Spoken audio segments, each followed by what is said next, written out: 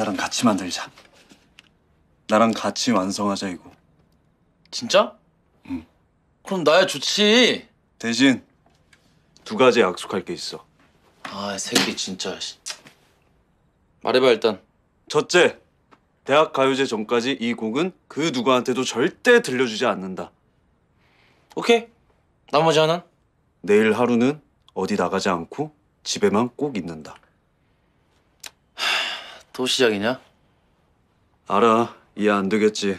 근데 나한테는 말 못할 알았어. 사정이. 알았다고? 응. 왜? 왜 이유도 묻지 않고 바로 들어주는 건데? 사람 불안하게. 생각해보니까 네 부탁은 전부 다 날 위한 거더라고. 제발 이 사람의 꿈을 깨지 말아주세요. 자, 시작해봐. 부디 이 사람이 행복해질 수 있도록 아, 나 이거 녹음해도 되지? 잊어버릴까봐.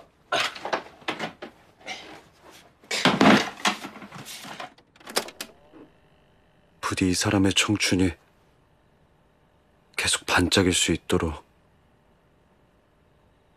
누군가 듣고 있다면 제발